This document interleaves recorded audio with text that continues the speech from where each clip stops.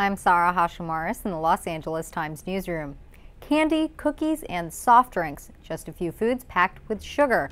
In an effort to analyze the effects of sugar on humans, researchers at the University of Utah fed mice a diet that was 25% added sugars. That's equivalent to a healthy human diet plus three cans of soda daily. Interesting to note, this amount is considered safe by the National Research Council, and up to a quarter of Americans consume this much sugar daily. After running a toxicity test on the mice, researchers found that females on the boosted sugar diet died at twice the normal rate, while males produced 25% fewer offspring and acquired fewer territories. Surprisingly, the mice, which were tracked for 32 weeks, did not become obese. The study published in the journal Nature Communications challenges the belief that it takes a lot of sugar to mess with your body.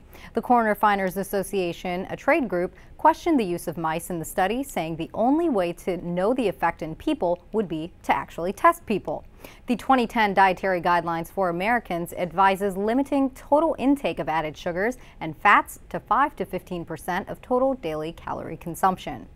For more on this story and other trending headlines, visit latimes.com and for the latest Twitter updates from the newsroom, be sure to check out at LA Times.